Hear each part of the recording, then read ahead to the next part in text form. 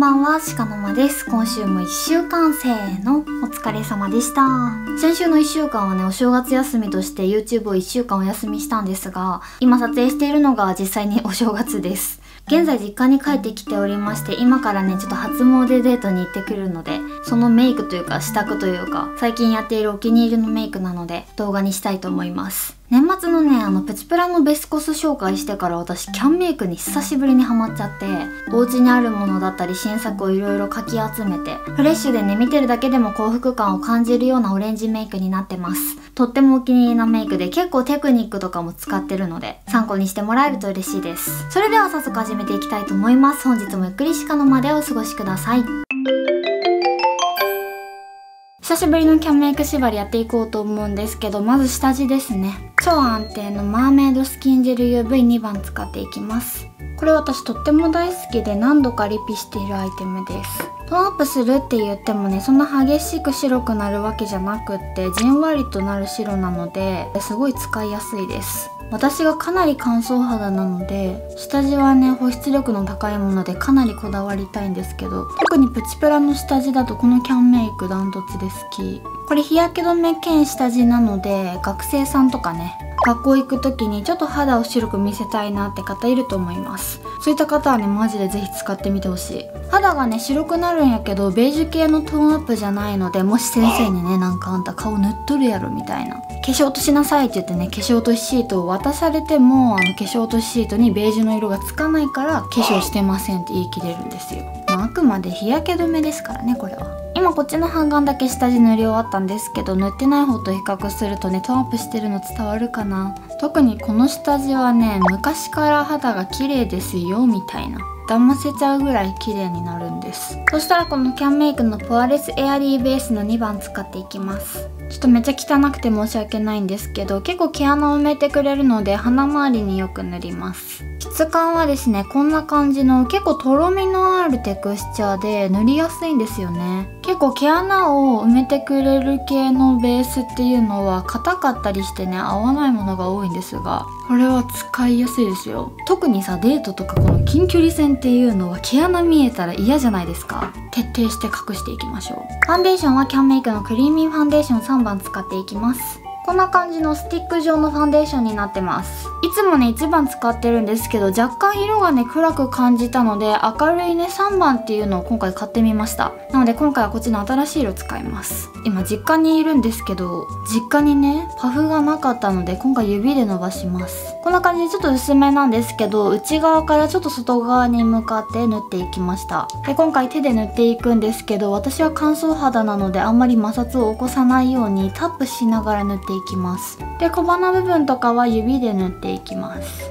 小鼻や口角は筆で取ります。しっかりね赤みを消していきましょう。あと口角とかね。でクマにもしっかり塗ろう。でデコにも塗ったら半眼完成なんですけれども。今こっちだけ塗ってる状態で結構分量難しいんですが多く塗るとね分厚く見えちゃうので十分カバー力があるから薄めに伸ばしていきましょう。数点上に向かって伸ばしていく。でこれを指でちょっと軽く叩きながら伸ばしていきましょう。でデコにも塗ってしっかり伸ばしてね小鼻も毛穴を埋めます。で鼻にも塗ります。でキャンメイクのカラースティックコンシーラー1番使います。これをまずクマに塗ろうで筆を使ってぼかします。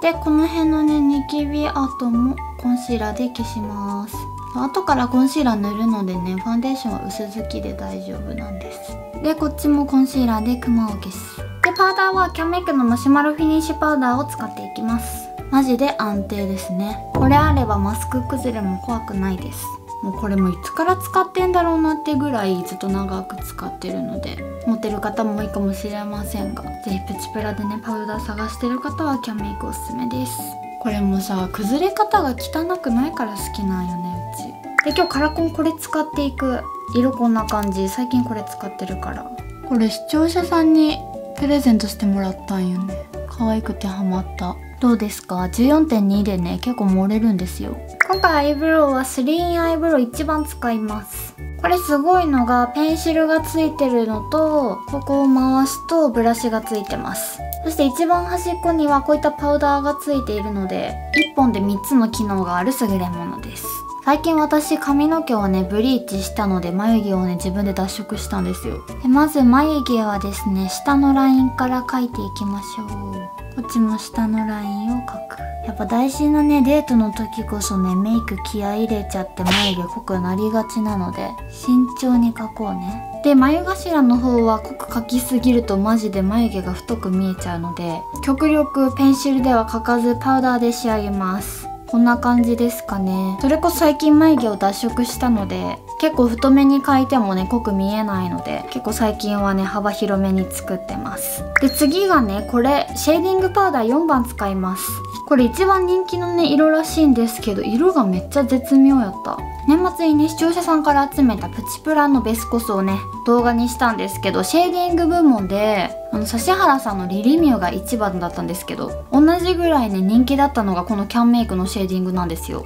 で一応ねあの人気だったので私も買っとこうと思って買ってきました。で最近ねこれをね地味に使ってるんですけど本当に色がついてるかついてないかわかんないぐらいそれ意味あるんって思われるかもしれないんですけどやっぱ色は少しだけついてるのでメイク初心者さんはね多分シェーディングつけすぎで失敗することがなくなると思うんですよ。だから学生さんとかねメイク初心者さんはほんと使いやすいんじゃないかなと思います。ついてないんじゃないかなって思って濃く塗りすぎなくてもしっかりついてるので。特に鼻筋とかはねシェーディングの濃さっていうのはすごい加減が難しい部分でもあるのでこれぐらいのね薄めのシェーディングだと使いやすいですよね。で顎下。次はハイライター HL01 番使います。これはね結構温かみのあるベージュ寄りのハイライトなので白くねギラギラ光りすぎないのでとても使いやすいハイライトです。これぐらいの控えめなハイライトがねなんだかんだ一番ね失敗しにくいんです。鼻先もしっかり塗ってこんな感じ。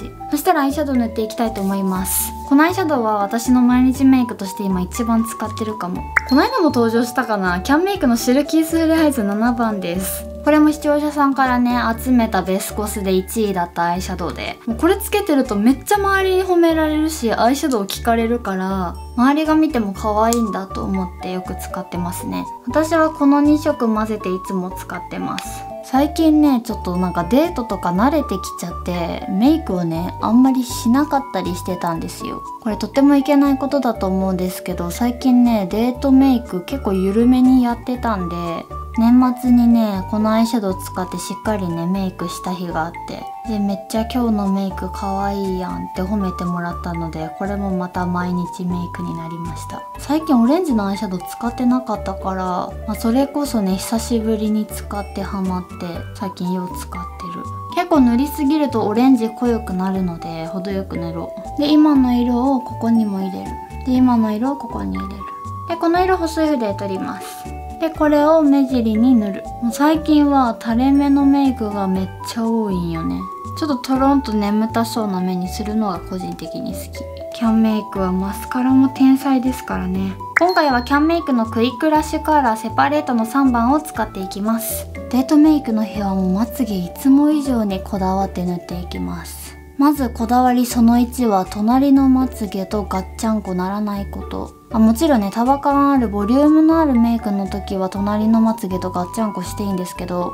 最近はやっぱまつげがふさふさの方が可愛らしいことが判明したので最近はちょっとあざとくねうさぎさんのようなまつげをイメージして作ってますね。で下まつげはもう真ん中しか最近は塗ってないです。で結構忘れがちな目頭ですね。目頭部分のまつげもしっかり塗ってあげると石灰ライン引いてなくともね目がねちょっと真ん中に寄ってるように見えるんでちょっと目が離れ気味だなって感じる方だったりちょっとパーツを中心に寄せてみたいとか顔の余白をね埋めてるように見せたいなって方は是非目頭のまつげしっかり塗ってください。そしたら下まつげ塗ろう。アイラインはキャンメイクのクリーミータッチライナー2番使います。超ねクリーミーなテクスチャーなのでとっても描きやすいんですよ。チョコレートみたいな濃厚さがあります。犬です。でちょっとこのね涙が出る溝部分にかぶってしまうとあくびした時とかでね涙にじんでしまうのでギリギリ涙が通る上にラインを引く。涙の溝の上を塗る。こうですね。でこの目頭部分のちょっと内側ぐらいにちょっとラインを入れて置くと目頭切開ラインは引いてないけどちょっと目の形がくっきりして見えるんです。どうです？ちょっと引き締まって見えませんか？そしたらキャンメイクのスタンプカバーコンシーラー1番使っていきます。こんな感じの結構細めのコンシーラーになってます。でこれをですね涙袋に塗っていきたいと思います。サイズ感がねちょうど涙袋に入るぐらいの大きさなので涙袋専用ではと思ってしまうぐらいとっても使いやすいです。ちょっと調子乗ってね濃く描きすぎたので めっちゃぷっくりしちゃったかもしれない。今こっちだけ涙袋を描いてみたんですけどやっぱりぷっくり感全然違いますよね。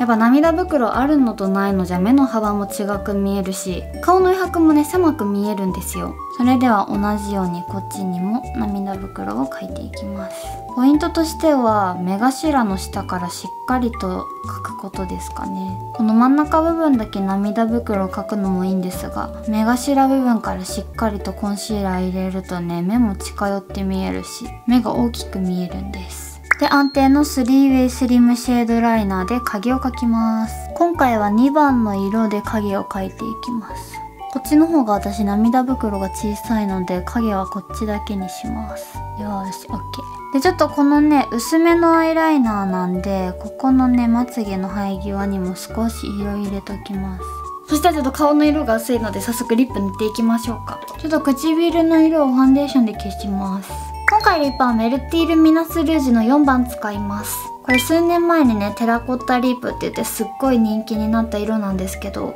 今でもすごい人気のアイテムです。私オレンジメイクするってなったらこれ絶対使うもん。保湿力もあるし発色も抜群にいいからスプラのテラコッタリップって言ったらこれ超えるものは現れん気がする。内側に濃く塗ってます。可愛くないこれ。でリップを塗ったらさっきのねシェードライナーで口角を描くよ。ほんと少しだけちょっと延長線上に切れ込み入れる感じ。で最後チークはパウダーチークスの PW43 番使います。これオレンジ系のチークなんですけどブルーのパールが入っているので透明感が出るんですよ。だからブルベさんでも使いやすいオレンジチークかも。ちょっと今回は可愛らしく見せたいので中心部分にちょっと横目に塗ります。でちょっと鼻先にも塗っとこうかな。それじゃあ完了したので髪の毛整えてきます。